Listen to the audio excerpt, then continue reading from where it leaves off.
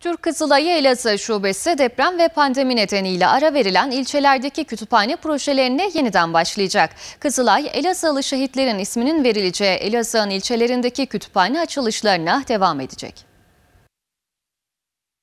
Türk Kızılay Elazığ Şubesi Elazığlı öğrencilerin yanında olmaya devam ediyor. Türk Kızılay Elazığ Şubesi tarafından Elazığ depreminden önce geleceğimiz için sen de bir kitap hediye et sloganıyla başlatılan proje kapsamında toplanan kitaplarla Elazığ'ın ilçelerinde kütüphaneler açılmıştı.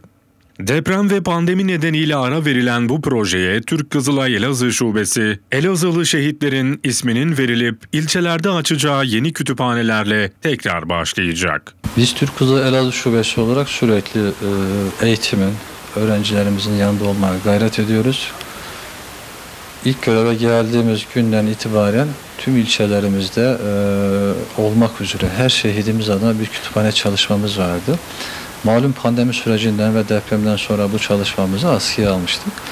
Bu yıl yine 2021'in başında inşallah çok hızlı bir şekilde kalan ilçelerimizde e, ihtiyacı olan özellikle okullar tespit edildikten sonra hem fiziki yapısı hem de gerekli olan araç malzemeleri Türk Kızılayı tarafından bizlerin tabii ki bağışçılardan temin ettiğimiz malzemelerle, kitaplarla, materyallerle açacağımız kütüphanelerin çalışmalarına devam edeceğiz. Öte yandan Türk Kızılay Elazığ Şubesi eğitim ve öğretimde yeni sezonla birlikte Elazığ merkez, ilçeler ve köylerde öğrencilere kırtasiye seti dağıtıyor.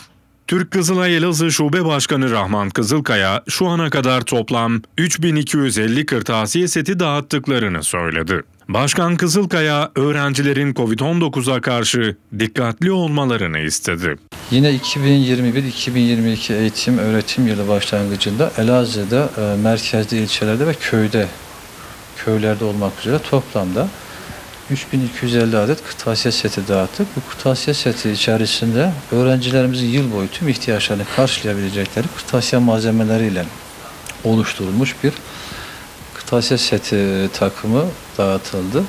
Bundan sonra da yine e, ihtiyaç duyulan e, eğitim öğretim noktasında genel olsun bireysel olsun tüm e, eğitimle alakalı çalışmalarda Türk Kızılay Elazığ Şubesi olarak hep sahada ve öğrencilerimizin eğitimin yanında olacağımızı ifade ediyorum.